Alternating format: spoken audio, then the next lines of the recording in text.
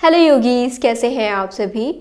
हमारे जो पेट में कीड़े हो जाते हैं, ज़्यादातर बच्चों के पेट में होते हैं तो कैसे पता लगाएँ कि बच्चों के पेट में कीड़े हैं और उनको कैसे ठीक करा जाए बिना किसी दवाइयों के, बिना किसी बाहर की चीज़ों से, बिल्कुल नेचुरल तरीके से कैसे ठीक किया जाए?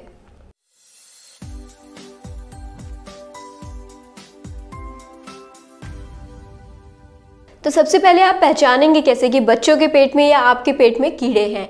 रात में सोते हुए बच्चे दांत खिटखिटाने लगते हैं मुँह से लार निकलने लगती है कभी कभी पेट में दर्द होता है भूख बहुत लगने लगती है या बहुत कम लगने लगती है। कई बार होता है भूख बहुत लगती है और खाते भी अच्छा है लेकिन शरीर को नहीं लगता शरीर सूखने लगता है।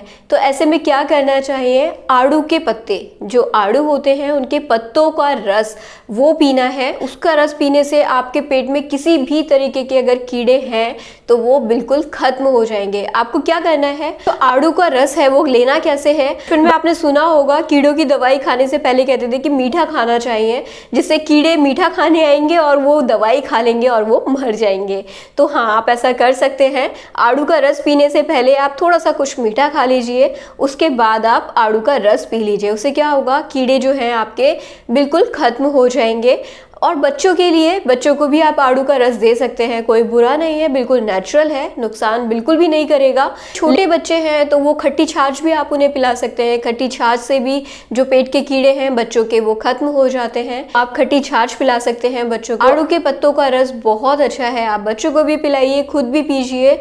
ये आपके पेट में कीड़े कभी नहीं होने देगा। अगर आपके पेट में कीड़े नहीं भी हैं, आपके बच्चों के पेट में कीड़े नहीं भी हैं तो हर छह महीने में अगर आप आड़ू के पत्तों का रस पी लेते हैं तो वो आपके स्टमक के लिए अच्छा है, एक तरीके से डिटॉक्स करता है और छोटे मोटे जो बैक्टीरिया होते हैं, वो भी इससे बिल्कुल खत्म हो जाते हैं। वीडियो पसंद आए हो तो वीडियो को लाइक करें, यूजफुल वीडियो है, आगे भी शेयर करें। और अगर अभी तक आपने चैनल को सब्सक्राइब नहीं किया है तो चैनल को सब्सक्राइब करिए, जिससे मेरा मोटिवेशन बढ़ता रहे और मैं आपके लिए ऐसे ही यूज़फुल वीडियो बनाते रहूँ। नमस्ते।